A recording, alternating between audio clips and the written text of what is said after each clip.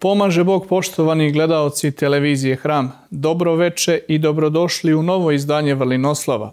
U ovom izdanju Vrlinoslova imamo čast i blagoslov da razgovaramo sa njegovim preosveštenstvom, episkopom Hvostanskim, gospodinom Aleksejem, vikarnim episkopom njegove svetosti patrijarha srpskog gospodina Porfirija. Ovo izdanje Vrlinoslova doneće odgovore na mnoga životna pitanja iz pravoslavne perspektive. Vaše preosveštenstvo pomaže Bog. Dobro veče, dobrodošli. Hvala vam što ste izdvojili vreme i blagoslovite. Bog pomogao i Bog blagoslovio sve vas i sve nas ovde i oni koji budu slušali i gledali. Vaše preosveštenstvo kako emisija Vrlinoslov ima za zadatak da našim gledaocima odgovori na mnoga životna pitanja iz pravoslavne perspektive – po vama, kako ste vi više od pet decenija u manastiru, šta je to što čoveka današnjice najviše muči i najviše tišti? Prvo, htio bih da kažem da se radujem što je više od pet decenija da sam u manastiru. I da sam došao u vreme kada je bilo sve drugačije, zdravije, iako je komunizam vladao u veliko. I da sam u to vreme uspeo da nekako na jedan zdrav način u manastiru, koji je teško preživljavao svoj materijalni i ekonomski opstanak, imao nešto veoma zdravo, a to je zajednica. Poštovanje jednih drugih, rodbine, monaštva koji su dolazili i sveg naroda koji je tu dolazio, bio to verujući ili neverujući, bili to Srbi ili pak Šiptari, svi su nekako bili dobrodošli u manastir u kome sam započeo svoj đački, iskušenički, pa zatim i monaški život. A, I priznajem da od tada do sada velike su se promene dogodile. Uopšte u svetu. Uopšte kod ljudi, u dušama ljudskim. I moram da priznam, ja koji zaista imam ovako dosta optimizma, jer takav mi je duhovnik bio, poneki put sam zabrinut. Ali znam jedno, da u nemoći se pokazuje sila Božija i zato uvek ima nade. Još i za mene, a i za one koji ovako hramlju da će gospoda stanu na svoje noge, ali je naša briga zaista da u tome koliko god možemo, ne samo savetima, nego i svojim ponašanjem da pomognemo svima onima koji to budu želeli i koji žele. Vladiko, po vama, šta je najveća muka i najveći problem čoveka današnjice sa kojim se narod susreće? Mm, mogu da kažem da je najveći problem današnjice otuđenje.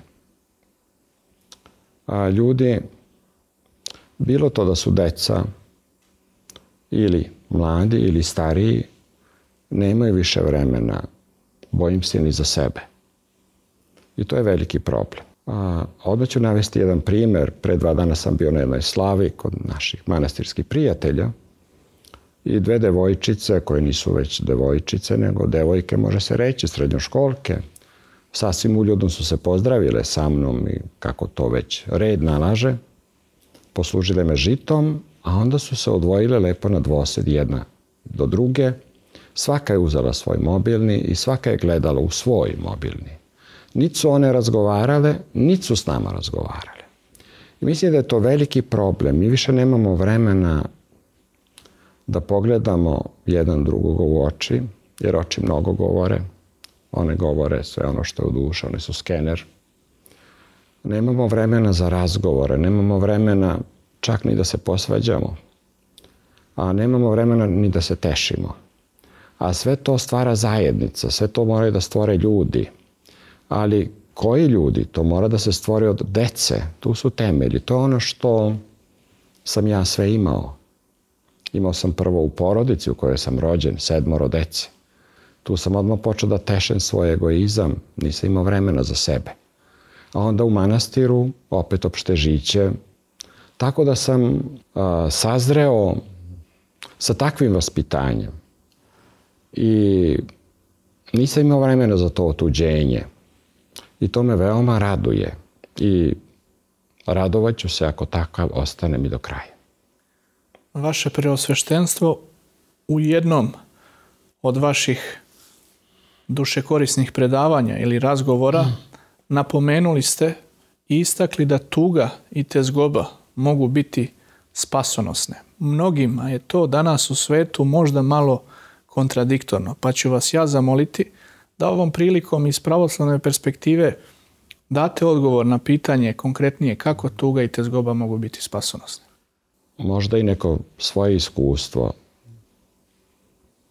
Ne moram da ga navedem, ali sam prolazio kroz to i zaista tvrdim da je tako. Tuga i teskoba. Teskoba stvara tugu, a tuga stvara teskobu. A šta je uzrok tome? Svakako nepromišljenost neka. Ona uvodi u greh, a greh stvara tugu, a stvara i teskobu. To može da bude spasonosno i vaspitno u kom smislu i u kom pogledu. Ako čovjek shvati da je sagrešio, da je napravio nepromišljenost ili teskobu i počinje da tuguje zbog toga. Jer greh stvara pravu teskobu i pravu tugu teskoba, šta to znači? Duša se sužava, ona koja je šira od okeana sužava se. I onda čovjeku postaje tesno. I ako to shvati i to sagleda, mora da padne pred gospoda i mora da zavapi da mu gospod tu pomogne. Jer onda je on veoma nemoćan. Najgore je kad čovjek misli da je jak i misli da sam može sve svojim silama da učini, tu je već pao, tu je već ušao u teskobu i ušao u tu tugu. Teskoba stvara hladnoću. Postaje duša hladna i nikog ne vidi oko sebe više. Soba bez prozora. I zato mora da shvati da je veoma slab, i da zavapi gospodu za pomoć. Jer niko ne može da pomogne nego gospod. U tom momentu saznaće da više nije slab, nego da je jak, jer mu gospod prilazi u pomoć. Teskoba i tuga uvek se događa onda ako smo prema bližnjem svom bili nepašljivi. Ako smo počeli da zavidimo, ako smo zaboravili da se radujemo sa bratom svojim, sa njegovim uspehom, ako smo zaboravili da tugujemo sa bratom svojim, kad saznamo da je brat naš tužan, žalostan. Ako to sve zaboravimo, onda ćemo zaista postati teskobni. To je odlično područje onda za stvaranje tog egoizma. Ja pa ja i niko više.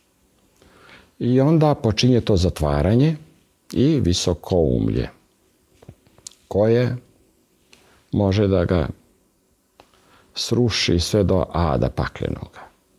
U tim momentima, ako zavapi gospodu, kao što rekoh, da mu da gospod tugu, onu spasonosnu, da može da tuguje sa svojim bratom, on će izaći iz te skobe i znaće i da tuguje, a znači da se raduje sa svojim bratom. Izlečit će se od egoizma. To je u stvari početak duhovnog usavršavanja, duhovnog sazrevanja, tog penjanja vertikalnog ka nebu, ka toj zajednici gde je radost večna, a sve drugo može da bude ono što rekoh, jedna soba teskobna bez prozora u kojoj se vrti dok ne pukne.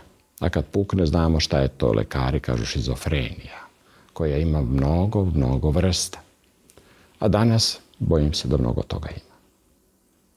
Vladiko, čovek danas u jednom danu primi mnogo informacija, ima mnogo misli. i statistički podaci govore da ako uporedimo čoveka nakon drugog svjetskog rata, negdje 1945. i čoveka 2023. godine, e, razlika u broju informacija je preko 40.000 da danas čovjek ima više. Obično su te misli tmurne, problematične i tako dalje. Starac Tadej je poučavajući govorio da je vrlo bitno kakve su nam misli i govorio je da je potrebno da nam misli budu optimistične, jer kakve su misli, takav je život. Kako vi savjetujete naše gledaoce da se izbore sa lošim i teškim mislima i da misle pozitivno? Pa evo, ajde navešću ja jedan primjer. Postoji u jednoj od mojih knjiga, mislim čak da je u susretima. Moja baba, strina, zvala se Anđa. Ona je bila iz Crne Gore, udala se u Metohiju, plodnu. Bila je interesantna, kažu žene, ja nisam poznavao. Jednog dana bila je nešto zabrinuta. I mog oca srela na njivi i on je pitao Anđo, zašto si zabrinuta? Kaže, pa evo, više sam se zamislila nego što sam zabrinuta. A zbog čega? Da li neko živi za onih planina? A to su prokletije. Negde 18 km udaljene od našeg sela. I moj otac je rekao, ne Anđo, niko ne živi tamo. I ona se više nikad nije pitala i niti je mislila o tome da li neko živi ili ne živi. To je tačno. Informacije mogu pre svega da zatruju čoveka. I to tako da ga zatruju da ne može da se sredi, da dođe k sebi. A informacije suvišne znaju čoveku da oduzmu molitvu, da oduzmu bogomislije, sozercavanje, da mu oduzmu onu želju da se druži sa bližnjima, da bude u zajednici. Informacije mogu čoveka da uvedu u nešto po meni još gore. Ogovaranje. Ogovaranja koje dolaze do opanjkavanja i klevete. To su informacije. Ja se sećam starca moga, Baćuški Gnjatija, kad sam bio u Svetoj zemlji, pa sam želeo da kupujem novine, naše, iz Srbije. I ja mu to kažem, a on kaže, šta će to tebi? Pa rekao da znam šta se tamo događa. Pa kaže, opet šta će to tebi? Zar bi time mogao da pomogneš svom narodu? Ne bi. Zato moje save da čitaš psaltir, time ćeš pomoći i sebi, a pomoćeš i svome narodu. I verujte, ta misao i danas me drži. I trudim se da ne primam mnogo informacija. To ne znači da se ja nešto više molim, ali se bar čuvam od mnogo informacija. To smo uvek starci učili, da se čuvamo informacija veliki, da se čuvamo ogovaranja. Jer štetimo i sebi i drugima. Trujemo i sebe i one oko sebe. I eto, te informacije na kraju zaista, ako nisu utešne, ako ne možemo tom informacijom da utešimo svoga brata, ako ta informacija nama ne pomaže da pojačamo molitvu, ako ta informacija ne može da nam pomogne da budemo nekome koliko toliko pomogli u savetu, onda može da bude štetna i za nas, i za mene, i za druge. I zato ja bi savet moga starca rekao svima da manje slušaju razne informacije belosvetske, i da brine o tome šta koji predsjednik jede i pije i s kim se svađa, a da u isto vreme da se moli za sebe i tamo kaže jedni za druge. I da čita psaltir. Jer će pomoći i sebi i onome do sebe. To jest bratu svome, bližnjima, svi su naši bližnji. Svi smo deca Božije. Preosvećeni saobrazno vašem odgovoru spominjete molitvu ako mogu biti slobodan, čini mi se da čovjek današnjice u većini slučajeva slabo razmišlja o molitvi. Malo se govori o molitvi, a čitajući svetotačke pouke možemo vidjeti gdje navode sveti oci između ostaloga da je molitva disanje duše. Kako vi savjetujete naše gledaoce zašto bi trebali da se mole, kako da se mole i kada da se mole ukratko? Što je voda za ribu, to je za nas molitva, jer to je razgovor duše sa Bogom. Čovek, ako ne nađe vreme da stane u svoj sveti ugao, bilo duhovni, bilo kelejni, da pogleda u ikonu, da uputi svoje misli Bogu, makar ukratko da traži blagoslov za dan koji počinje, zatim za dan koji se završio, za noć koji počinje. Jer često onaj koji je zanoćio nije osvanuo i tu nismo nikad sigurni. A ako ne razgovaramo sa gospodom, a to je u stvari naša energija, to je naš život, jer Bog daje život. I On voli da mu se molimo. On zna šta nama treba, ali mnogo voli da tražimo od njega. Kao što dete traži od oca i od majke, često traži ono što mu ne treba. Ali su roditelji tu da ocene i da mu daju ono što je za njega.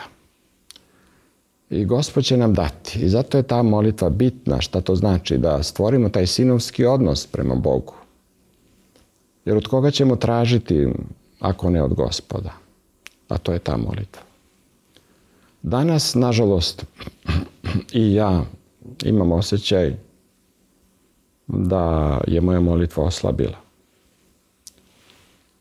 I priznajem da je to simptomatično. I nije dobro. Za sve drugo se nađe vreme. A molitvu smo već sveli na jedan deo dana, jutro ili veče, i najčešće kažemo idemo da pročitamo pravilo. U stvari, mi ne treba da čitamo pravilo. Gospod od nas ne traži mnogo glagolanije. On gleda naše srce i traži da otvorimo srce svoje. Kaže, jedan uzdah Gospodu je važniji iz našeg srca nego mnogo puta Gospod Isuse Hriste pomiluj. Sećam se vladika Bački, gospodin Irineješ, kad je bio jeromonah, govorio je lepo je tvoriti Isusovu molitvu. Ali kaže, ja sam ipak zato da, go, da čovek stane celokupan pred gospoda, otvoren i da otvori srce svoje. To je najjača molitva. I ja sam tog mišljenja.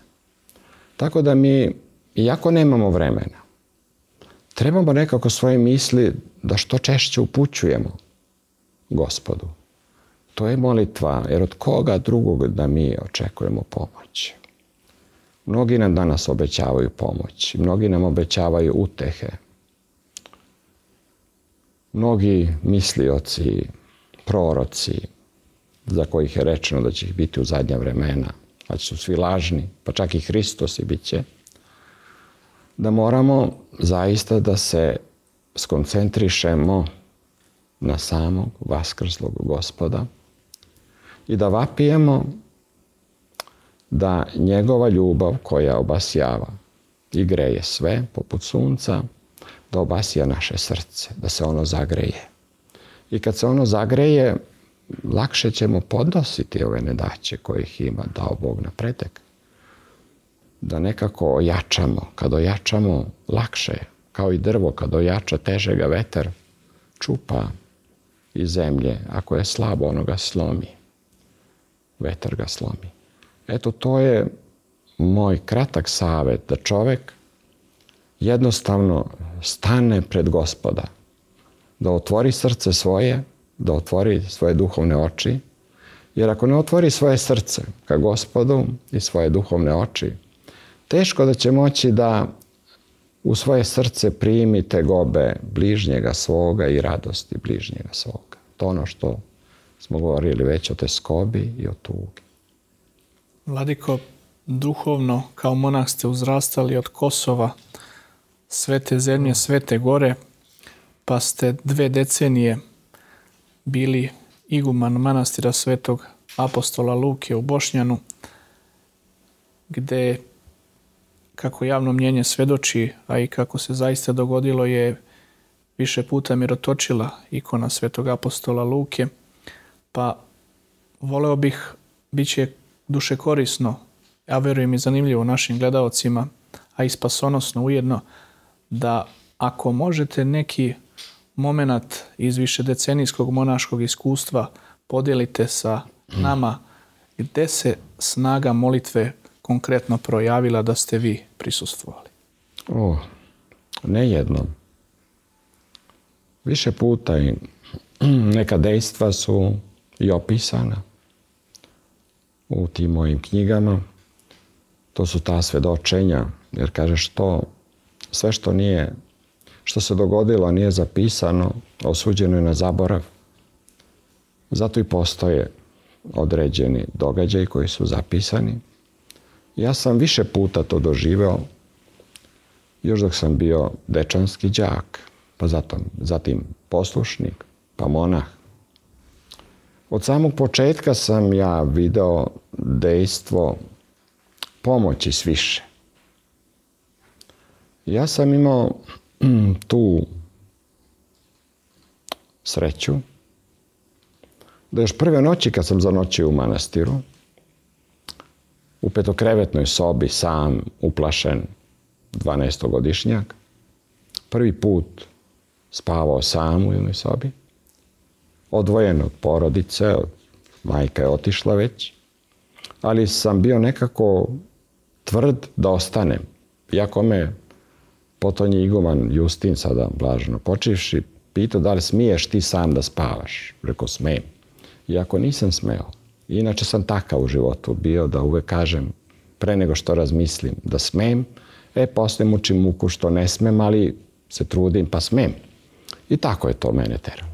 I mi smo tvrdo verovali da sveti kralj Dečanski Stefan, Uroš III, ktitor manastirski, zovu ga Krasnik Dečanski tamošnjem kraju, jer majka mi je iz tog kraja rodom, da on šeta noću i da čuva manastir. I mi smo svi to verovali. Što je najbitnije, on ga i sačuvao. I te noći sam ja želeo da proverim da li on čuva manastir. Znači, bio je, kako bi se reklo, podvrgnut mojoj kritici. I ja sam se pokrio jorganom, jako je bio 28. uveče jun, Vidovdan. Tad sam i došao u manastir. Toplo, ali ja sam se tako dobro pokrio od straha da sam sastavio kolena i nos. Ali u nekom momentu sam hteo ja pošto poto da, da vidim da li on čuva manastir, da li on to, ili su samo priče. I podignem tako malo jorgan i između dva prozora, toliko ih je u toj sobi, na trećem spratu, iz kona, u konaku iz 16. veka, vidim stoji starac u, u belom, sa belom bradom i posmatra ja sam samo pokrio glavu ponovo i više nisam mrdnuo do jutra. To je bilo negdje isvanuće. Tako da je on jednostavno meni dao do znanja da ipak on čuva manastir. I to mi je mnogo značilo, svi 24 godine, da 24 godine koliko sam proveo, ja sam tvrdo verovao da on čuva manastir i služeći ga i otvarajući mošti, paleći kandilo, bilo je to nekad noć ili danju, ja nisam imao strah od njega. Imao sam neko, mm, da vam kažem, prosto imao sam neku ljubav prema njemu, iako sam naravno grešio u životu, ali straha ja nisam imao, jer sam znao da mu služim. Ali sam tvrdo verovao i tvrdo verujem da i danas on čuva i da šeta noću da čuva manastir.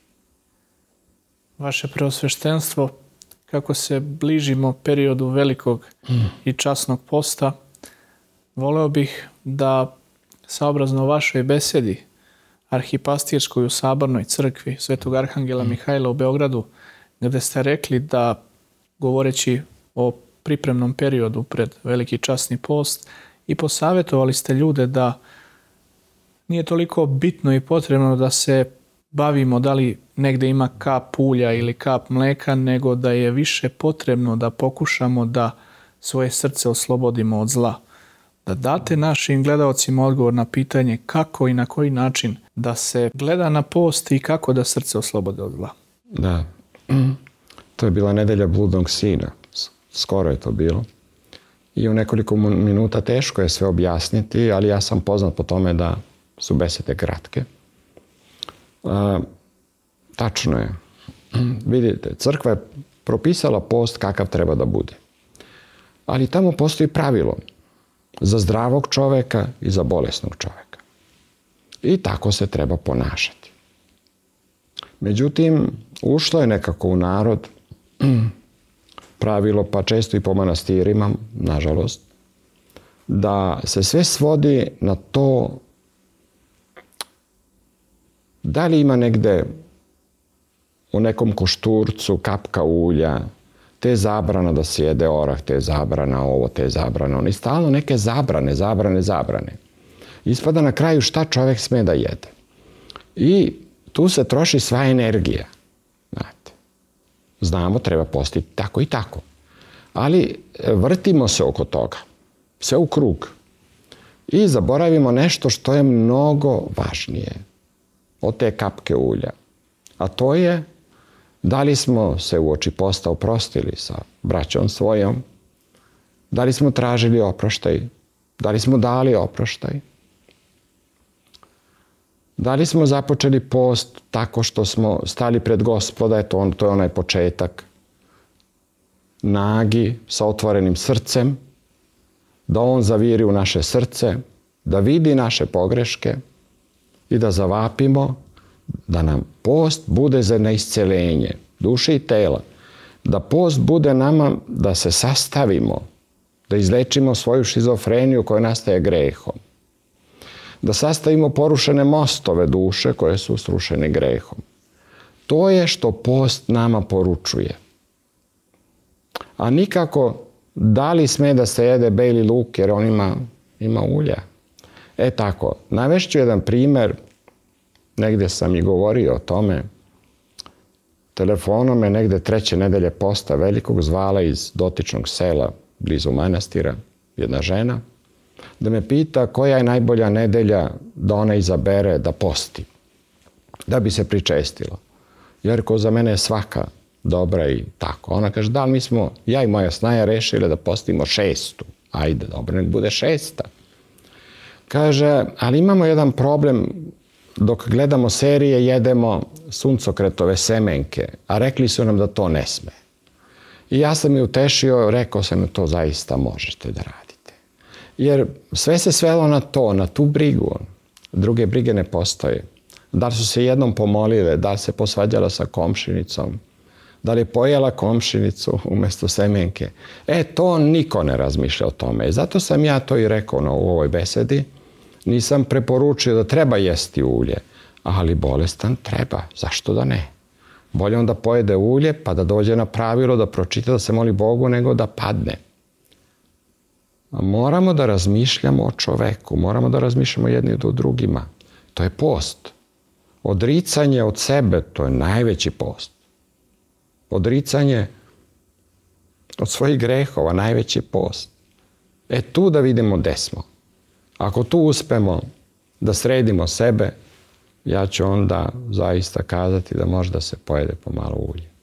Kako, Vladiko, da sačuvamo svoje srce od zla? Ako svoje srce naselimo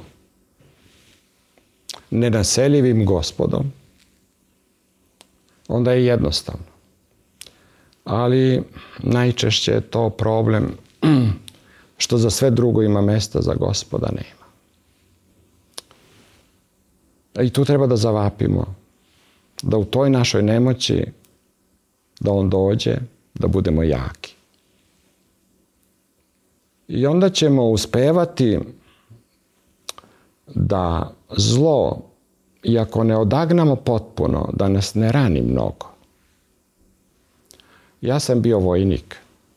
14 meseci, to ozbiljan vojnik.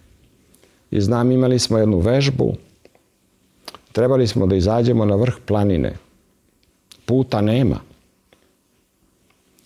I skoncentrisani smo bili da izađemo na vrh planine. Uopšte nismo razmišljali, ja, a verujem i drugi, moji drugovi, Nismo razmišljali o tome da li je oštar kamen, kako je trnje, kako je drveće. Mi smo jednostavno išli. Sva je briga bila u tome da izađemo na vrh planine. I znam kad smo izašli gore, čizme su bile pocepane, bluze pocepane, ponegde malo i krv lije, ali smo ipak celi izašli. To je meni nekako... A, razmišljao sam o tome puno puta, da je naš duhovni život upravo takav. Naš je cilj da izađemo na, na vrh planine, jer tek onda vidimo gde smo. Dok smo ispod planine ništa ne vidimo.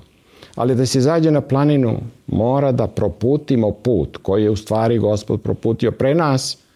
E da tako idemo ozbiljno kao vojnici, pa makar malo i pocepali bluzu, malo si ogrebali, malo i pocepali i čizme, ali oznojeni, orni, kad se izađe gore, ja to znam po sebi, kad smo izašli, kao da smo pobedili ceo svet, jer smo to učinili.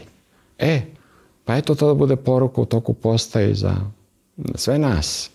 Da malo zaboravimo na sebe, da zaboravimo na svoje samoljublje. Mnogo smo razdeženi, to je najveći problem. Deca su raznežena, odrasli su razneženi. Od ničega ne može čovjek da se odrekne. To je nama veliki problem. I da budemo malo vojnici, pa da idemo uz brdo, ali ozbiljni vojnici. Još pogotovo ako smo Hristovi, sve će onda zaceli ako malo ranimo ruke i noge ako malo krvi prolijemo, a smo izašli na vrh planine. Vladiko, kako većina ljudi provodi dosta vremena na poslu, a pričamo o duhovnim savjetima, da, hajde da damo savjet ljudima ako negde na poslu ili u zajednici bilo kakvo imaju oko sebe, ako smijem biti slobodan, duhovne vampire, odnosno ljude koji sisaju svu pozitivnu energiju. Kako u tim situacijama ljudi da se ponašaju, kako da pomognu prvenstveno sebi, a onda i bratu koji, koji ima problem? Ozbiljno pitanje. Jer danas se srećemo, apsolutno. Jer ja s obzirom da ispovedam, sve to već sam čuo i ljudi opterećeni dolaze, ispijeni, tačne. Um, prvo moramo da shvatimo, ali svi moramo da shvatimo, ne može pojedinac, da svako poslušanje je poslušanje prema Bogu pre svega. Da mi postajemo svojim obavezama saradnici Božiji. Svaki poziv, pa bio to državnik, predsednik, bilo to da je čistač, bilo to da je poslušnik ili monah, svi postajemo saradnici Božiji. Naravno, svugde nailazimo na prepreke, to je činjenica, pogotovo oni koji su po kancelarijama, pogotovo od oni koji ne misle u duhovnom životu i od onih koji su izgubili patrijarhalni način života makar i zaista teško za one koji žele da se ozercavaju i da budu celomudreni. Koliko toliko. Ja jedan savet mogu samo da dam, a i sebi to isto, da se opet čovek osloni na Boga. Mora nekako srcem da se okrene gospodu u tim momentima i da tu ojača. I još ako uspe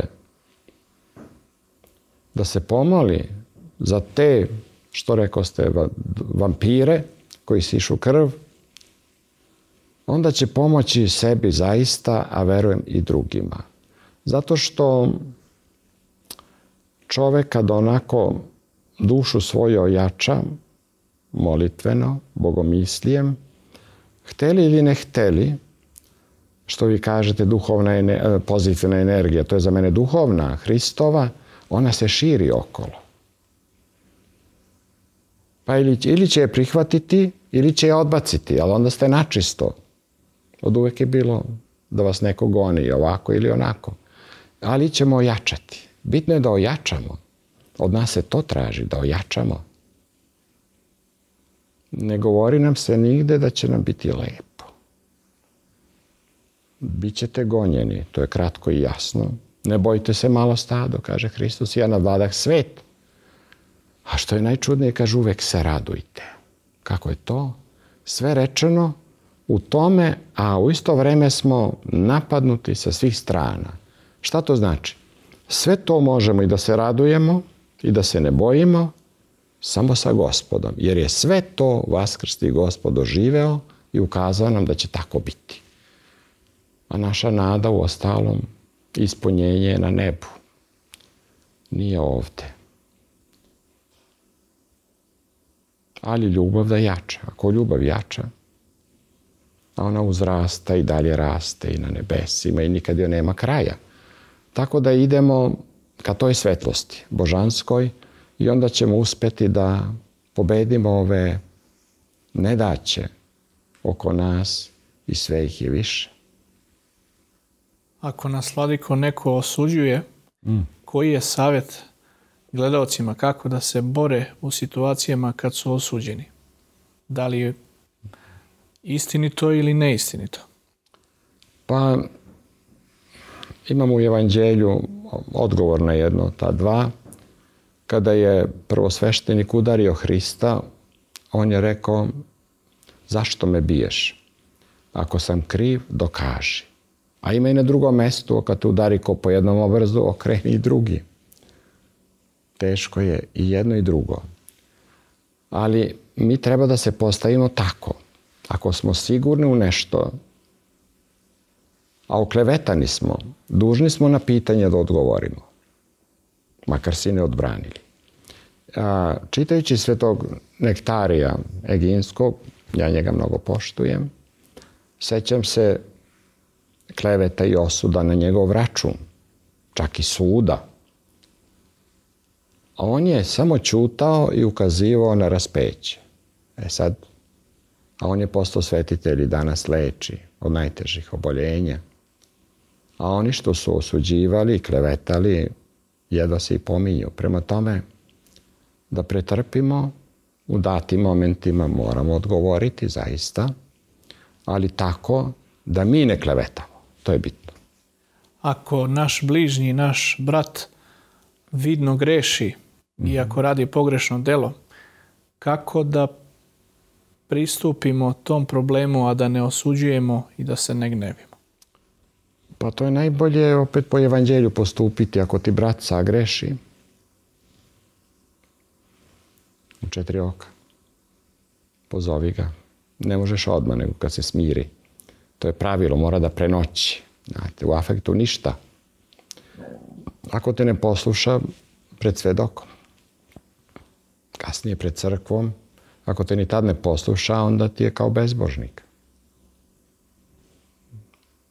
To je sve rečeno, nema šta ja da kažem. Ali jeste teško. Prepodobni Antonije Veliki govorio je da je početak smirenja kad počnemo da smatramo sve ljude boljim od sebe, pa shodno tim rečima, kako vi savjetujete čoveka današnjice da krene da se smirava, odnosno gde je čoveku danas početak smirenja? Početak smirenja rađa trpljenje, trpljenje jača molitvu, Zatim, smirenje rađa ljubav. E zato Sveti Antonij govori o tome da smatramo sebe gorim od drugih. Zašto? Zato što često čovek naviknut na sebe razmišlja o tome pa i nisam ja kriv. Onaj drugi gori od mene. U ostalom, Mitru i Fariseju imamo tu odgovor u Evanđelju. Jer čovjek ako smirava sebe, onda je poput gospoda jer on smiravao sebe stalno. Iako to nije trebao, nije morao.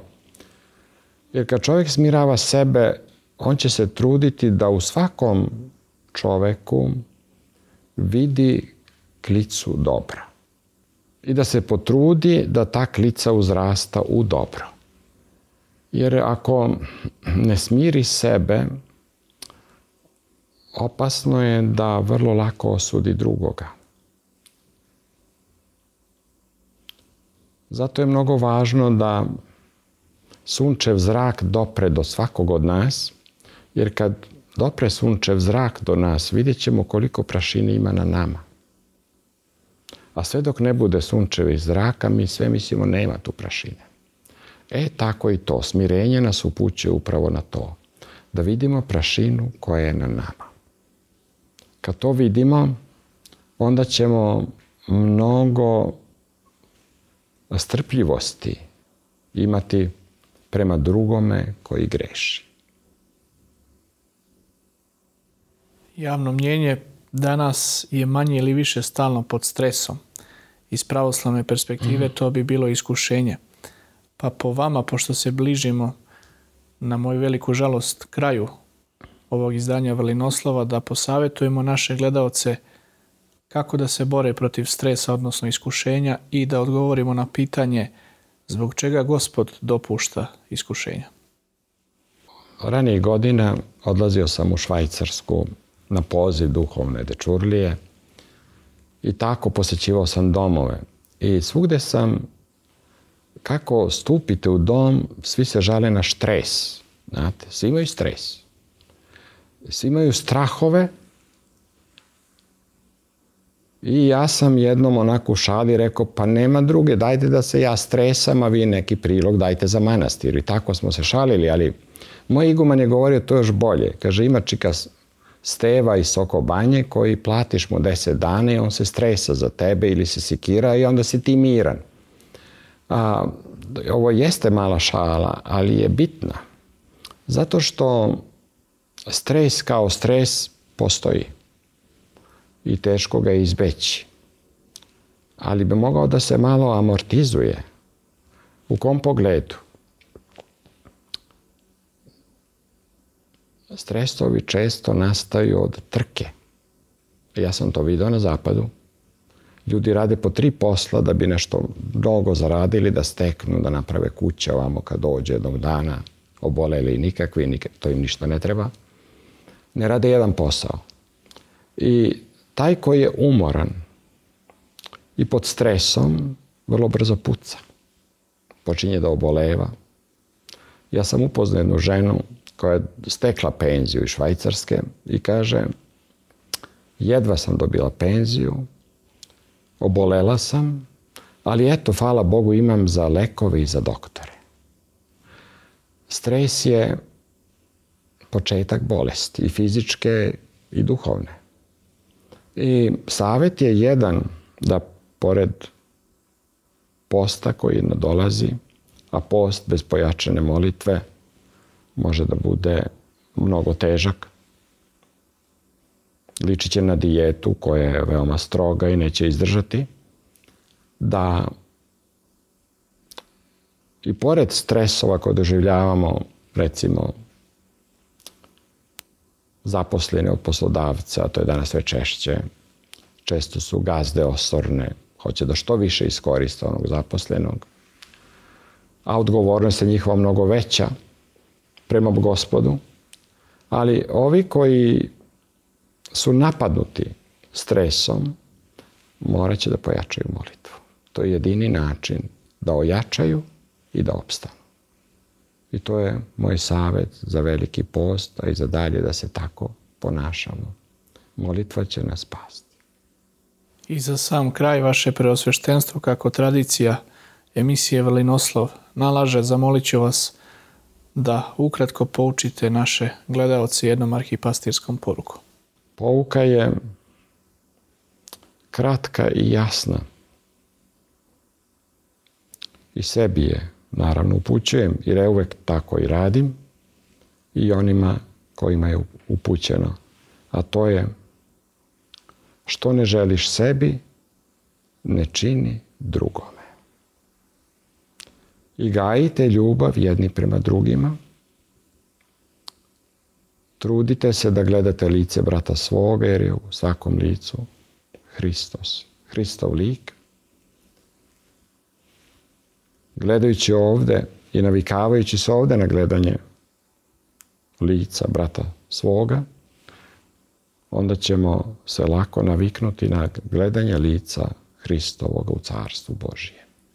Ako to ne steknemo ovde na zemlji, bojim se da nećemo se snaći i kad nam Gospod onako milosti ponudi da dođemo u Carstvo Božije.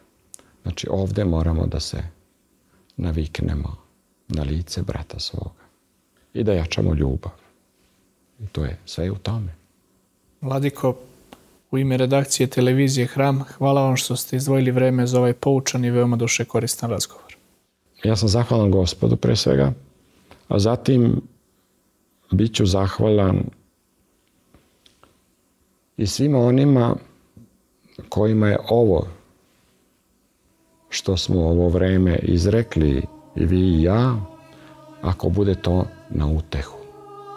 Jer utehe nam fali. Pa ako bude na utehu, ja ću biti radostan.